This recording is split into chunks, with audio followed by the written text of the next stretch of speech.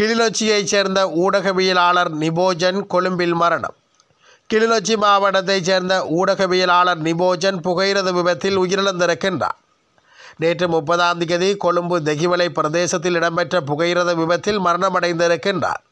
அவரது உடல் கலுபோவில வைத்தியசாலையில் வைக்கப்பட்டுள்ளதாக தெரிவிக்கப்படுகின்றது. ஹிருனிகா இளைஞர் ஒருவரை கடத்தி சென்றதாக கூறப்படும் வழக்கின் விசாரணை ஒத்திவைப்பு. கொழும்பு மாவட்ட முன்னாள் நாடாளுமன்ற உறுப்பினர் ஹிருணிகா பிரேமச்சந்திர டிஃபண்ட் மூலம் இளைஞர் ஒருவரை கடத்தி சென்றதாக கூறப்படும் வழக்கின் விசாரணை கொழும்பு மேல் நீதிமன்றத்தில் ஒத்திவைக்கப்பட்டிருக்கின்றது.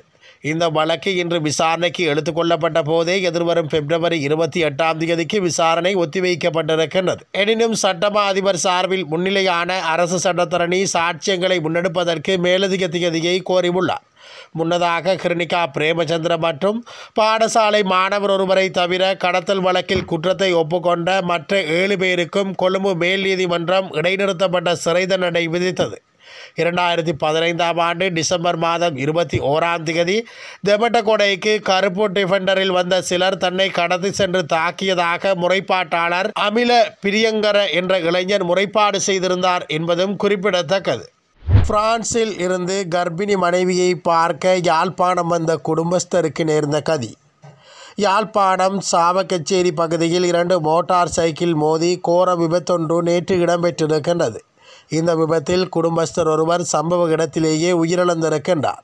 பாதையை கடக்க முற்பட்ட மோட்டார் சைக்கிளுடன் பிரிதொரு மோட்டார் சைக்கிள் மோதியதிலேயே விபத்து நேர்ந்திருக்கின்றது.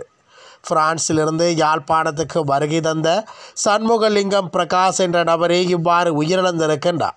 சாவகச்சேரியை பிறப்பிடமாக கொண்ட இவர் ஒரு வருடத்துக்கு முன்னர் இங்கு திருமணம் முடித்து பின்னர் பிரான்சுக்கு சென்றுள்ளார். அவருடைய மனைவி பிரான்ஸ் செல்ல முடியாத காரணத்தினால் இங்கு வசித்து வந்துள்ளார். இந்த நிலையில் அவரது மனைவி பிரசவத்துக்காக வைத்தியசாலையில் அனுமதிக்கப்பட்டுள்ளார். அவரை பார்ப்பதற்காக பிரான்சிலிருந்து குறித்த இளைஞன் வருகை தந்துள்ளார். மனைவியை பார்த்துவிட்டு வீடு திரும்பிய போது இடம்பெற்ற விபத்தில் அவர் உயிரிழந்திருக்கின்றார். முல்லைத்தீவில் பதினைந்து வயது சிறுமிக்கு திருகோணமலை இளைஞரால் நேர்ந்த கொடூரம். முல்லைத்தீவில் பதினைந்து வயது சிறுமியுடன் பாலியல் துஷ்பிரயோக செயலில் ஈடுபட்டதாக கூறப்படும் இளைஞர் ஒருவர் போலீசாரினால் கைது செய்யப்பட்டுள்ளார். இந்த சம்பவத்தில் முல்லைத்தீவு அலம்பில் பகுதியில் பாடி ஒன்றுக்கு பணிக்காக சென்றுள்ள திருகோணமலையைச் சேர்ந்த இருபத்தி இரண்டு வயதுடைய இளைஞரே நேற்று கைது செய்யப்பட்டுள்ளார். இந்த சம்பவம் தொடர்பில் அயலவர்களுக்கு தெரிவிக்கப்பட்டதை அடுத்து முல்லைத்தீவு போலீசில் முறைப்பாடு செய்திருக்கின்றனர். இதனை அடுத்து முல்லைத்தீவு போலீசார் சம்பவம் தொடர்பில் விசாரணைகளை நடத்தி இருக்கின்றனர்.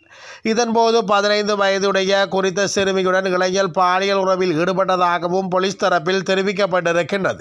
இந்த சம்பவத்தில் தொடர்புபட்டவரான இளைஞர் மீது சட்ட நடவடிக்கை எடுக்க உள்ளதாக கூறிய போலீசார் பாதிக்கப்பட்ட சிறுமியை மருத்துவ பரிசோதனைக்காக முல்லைத்தீவு மாவட்ட வைத்தியசாலையில் அனுமதித்திருக்கின்றனர் முல்லைத்தீவில் அண்மை காலமாக சிறுமிகள் பாலியல் துஷ்பிரயோகத்துக்கு உள்ளாக்கப்பட்டு வருகின்றமை அதிகரித்து காணப்படுகின்றமையும் குறிப்பிடத்தக்கது. குழந்தையின் உயிரை காப்பாற்ற போராடி தன்னுயிரை கொடுத்த இளம் தாய் நேர்ந்த விபரீதம். மகியங்கடை பகுதியில் காட்டு யானையின் தாக்குதலுக்கு இலக்காகி முப்பத்தி ஐந்து வயதுடைய இளம் தாயொருவர் உயிரிழந்த சம்பவம் பெரும் சோகத்தை ஏற்படுத்தியுள்ளது. சம்பவத்தில் உயிரிழந்த தாய் தனது பிள்ளை மற்றும் கணவருடன் வீட்டில் உறங்கிக் கொண்டிருந்த போது திடீரென வீட்டுக்குள் வந்த காட்டு யானை ஒன்று வீட்டின் சில பகுதிகளை உடைத்து சேதப்படுத்தியுள்ளது. இதன்போது உறங்கிக் கொண்டிருந்த குழந்தையுடன் அயலவர் வீட்டுக்குள் கணவன் மனைவி தப்பி செல்லும் வழியில் காட்டு யானை இடைமறித்து தாக்கியுள்ளது. தாய் பிள்ளையின் உயிரை காப்பாற்ற பல மணி நேரம் போராடி உள்ளதுடன் யானையின் தாக்குதலுக்கு இலக்காகி காயமடைந்துள்ளார். இதனைத் தொடர்ந்து சம்பவ இடத்துக்கு விரைந்த அயலவர்கள் தீயினை மூட்டி கடும் போராட்டத்தின் பின்னர் யானையினை விரட்டியடித்து காயமடைந்த குழந்தை மற்றும் தாயை வைத்தியசாலையில் அனுமதித்திருக்கின்றனர். இதன்போது வைத்தியசாலையில் தாய் மற்றும் குழந்தை சிகிச்சை பெற்று வந்த நிலையில் தாய் சிகிச்சை பலனின்றி உயிரிழந்திருக்கின்றார்.